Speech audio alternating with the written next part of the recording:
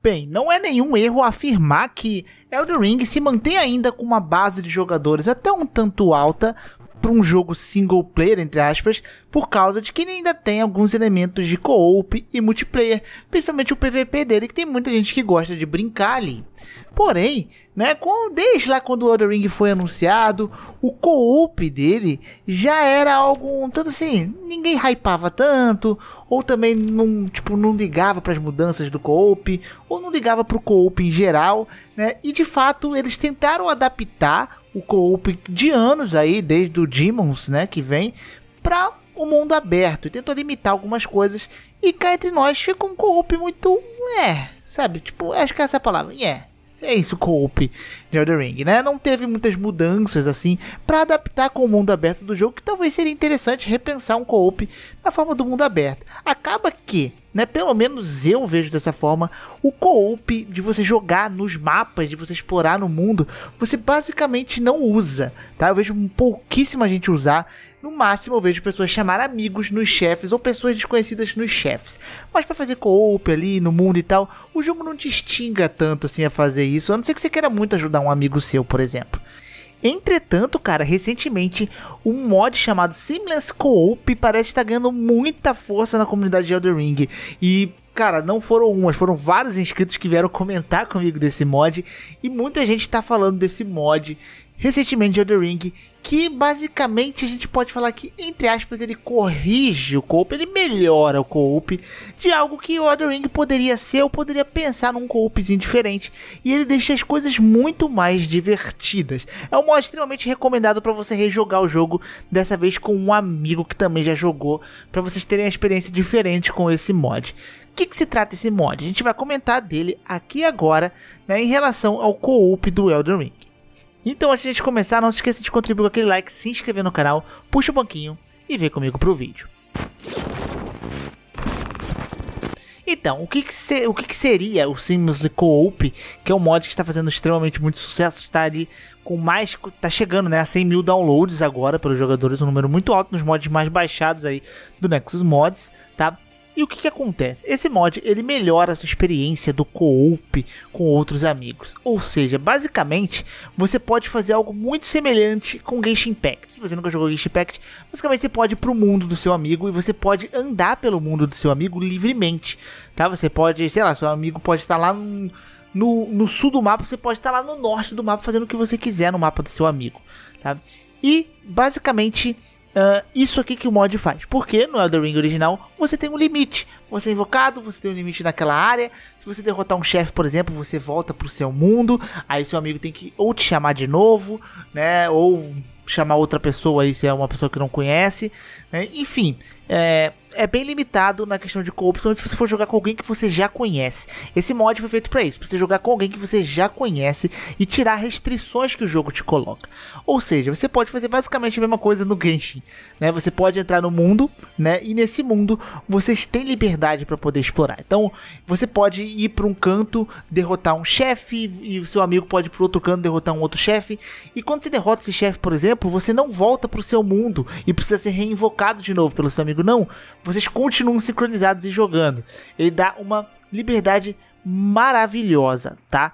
Então, tipo, se o jogador falece, por exemplo, o jogo não não manda ele de volta pro mundo. Se você tá com dois amigos, três amigos, você morre ali, você fica meio que no modo espectador até todos seus amigos morrerem naquele chefe. Isso é muito interessante, cara. Você não precisa voltar ali, ele, ele realmente atualizou um pouco o co-op do, dos jogos Souls, que são tanto antigos, e deixou algo um pouco mais dinâmico, sabe? Além disso, existem outras inúmeras coisas. Por exemplo, o fato de que os jogadores podem escolher para onde viajar né, uma espécie de votação. Vocês podem viajar ali usando a, a, o atalho das fogueiras. Vocês podem visitar, por exemplo, a área ali da mesa redonda, coisa que você não pode fazer isso, você só visita aquilo sozinho. Todos os jogadores podem ir para lá, o que é bem legal e engraçado, inclusive. E ele faz uma coisa muito legal, que é o que eu recomendo, inclusive, você começar um novo jogo com um amigo, porque ele sincroniza os mundos. Então, se você está jogando com seu amigo, você derrotou um chefe, o chefe vai ser derrotado no seu mundo e no mundo dele. Isso é interessante, porque muitas vezes a pessoa não faz um co-op ao mesmo tempo, porque pô, você vai fazer duas vezes a mesma coisa. Ah, vou te ajudar aí numa área, você vai ajudar seu amigo numa área. Quando você voltar pro seu mundo, se você não explorou aquela área linda, você vai ter que fazer também de novo, você vai ter que explorar aquela área de novo. E agora não, você pode realmente zerar junto com um amigo e os dois progredirem no, no mundo, na sua história. Então isso daí é bem legal, tá? E tá pegando muita galera, a galera tá jogando bastante esse mod agora por causa disso. Ah, outra coisinha bem legal também, que é uma limitação do jogo, é que você pode usar cavalo aqui. Todos os seus amigos também podem andar de podem fazer uma trupe ali de cavalinho tranquilo, coisa que o jogo também te limita. Sabe-se lá por quê, né? Eles fizeram alguns ajustes também de balanceamento, como por exemplo, escalar os inimigos quando aparecer um terceiro amigo. Você pode chamar até mais três pessoas, ficar quatro no total. E como estava ficando muito fácil, eles colocaram uma camada a mais de escala, então fica mais difícil quando você está com mais pessoas. Também adicionaram um sistema meio que de punição quando o jogador fica morrendo muito.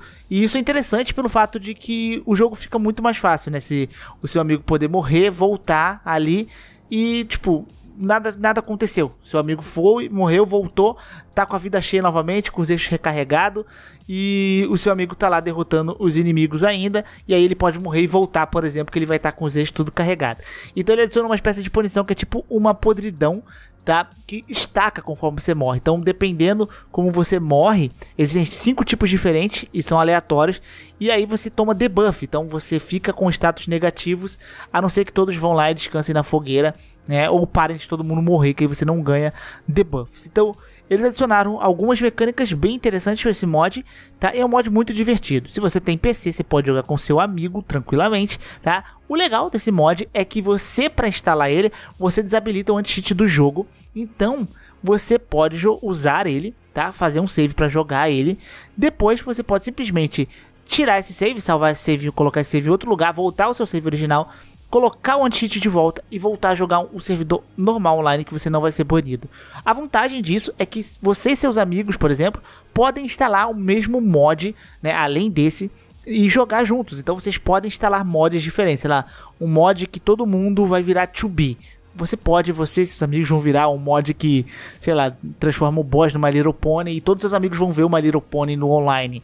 Então você pode realmente criar é como se você pudesse criar um seu servidor privado. É justamente isso. Criar um servidor privado de Elder Ring só seu. E aí você pode fazer as modificações que você quiser.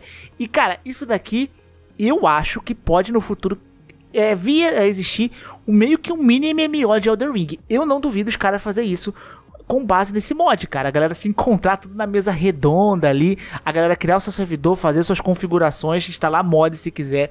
Eu realmente acho que o céu é o limite para isso aqui. Então, é realmente muito interessante. Eu adoraria ver esse elementozinho de MMO de brincadeira aí pro Elder Ring, tá? Então é isso daí, tá? Uh, cara, eu acho que isso daqui deveria ser implementado no Elder Ring. Dessa forma, talvez não, né? Porque essa forma, ela é uma forma mais para brincar, para se divertir. Eles não pensam em consequências de balanceamento, etc.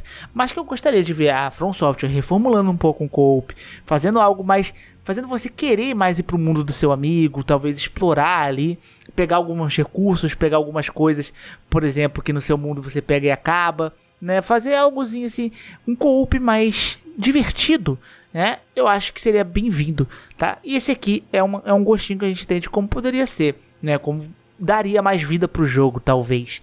Então, bem legal esse mod, é o Seamless Co-op, eu vou deixar o link na descrição para quem quiser. Tem todos aí como instalar, ele é muito fácil, tipo, ele é menos de um kbyte, é uma DLL que você instala, o que mostra que essa implementação, inclusive, desse mod não aparenta ser algo complexo de se fazer, tá? Porque realmente é um arquivinho muito pequeno que já modifica algo que já está no jogo.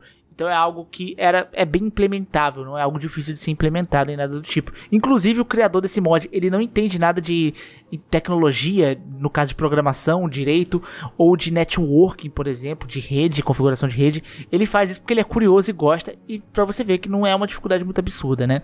Então é isso, né? Espero que vocês tenham gostado desse vídeo. Quem tá jogando esse mod quiser comentar aí como tá sendo a experiência com ele. Eu sei que ele ainda tem alguns bugzinhos, etc. Mas eu tô vendo muita gente elogiar. Então é bem interessante isso aqui. E é isso. Eu fico por aqui. Um grande beijo, um grande abraço, um beijo no popô. E tchau.